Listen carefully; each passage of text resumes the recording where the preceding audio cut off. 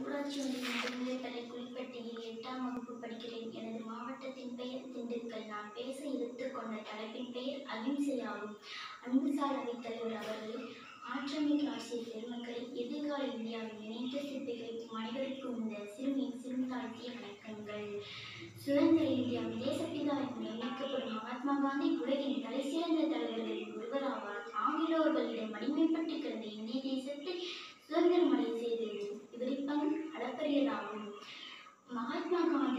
காந்தியின் அகிம்சைதான். நம்மை ஆரம்பித்தாலும் பதிலுக்கு அகிம்சையை பதிலாக கொடுப்போம் என்றார் அண்ணல். இந்த அகிம்சை இந்த அகிம்சை போராட்டமும் போராட்டம் தான் நாட்டையே சுதந்திரமடைய செய்தது. சுதந்திரமடைய செய்தது. ஆனால் இந்த அகிம்சை எங்கே போனது என்றே தெரியவில்லை. ஆனால் இந்த இந்த அகிம்சை எங்கே போனது என்றே தெரியவில்லை. எங்கெங்கும் தலைக்கிட்டாடுகிறது துவேஷங்கள் வெறுப்புணர்வு. யாரும் யாரையும் பொறுத்துக்கொள்ளும் நிலையிலும் இல்லை. எந்தமானது காந்தி தேசம் கற்றுக்கொண்ட அந்த உயரிய பண்பு? கடந்த போர் செய்து அடிமைகளாக இருந்த மக்களுக்கு சுதந்திரம் பெற்றுத் தந்தார். கூண்டிலிருந்து வெளிப்பட்ட பறவை போல மக்கள் ஆடுவோமே பழி பாடுவோமே என சுதந்திரத்தை கொண்டாடி மகிழ்ந்தனர். அனைவரும் அவர் பாசத்தோடு தேசப்பிதா என்று அழைத்தனர். அவர் வழியை பின்பற்றி நாமும் சண்டையில்லாமல் ஒற்றுமையோடு வாழ்வோம் என்று இன்றும் உறுதி கொள்வோம்.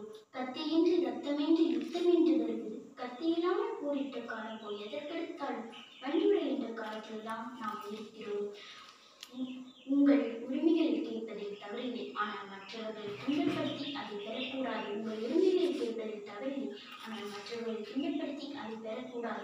அவரும் எப்- அவரும் எப்போதும் ஒற்றுமையோடு இருக்க வேண்டும். சாதி மத போதங்கள் விட்டொழிங்கள் அனைவரும் இந்தியர் என எண்ணுங்கள். காந்தியடிகளார் போராட்டங்களுக்கு கிடைத்த வெற்றிதான் நாம் இன்று அனுபவிக்கும் சுதந்திரம். வன்முறை எந்த பிரச்சனைகளுக்கும் தீர்வல்ல. ஆனால் அகிம்சையை பின்பற்றினால் மழையும் மடுவாக்கும் சக்தி அதற்கு உண்டு. அது அகிம்சையை முறையில் கையாளினால் வெற்றி நிச்சயம். இத்துடன் எனது சிறிய வழியை முடித்துக் கொள்கிறேன். நன்றி வணக்கம்.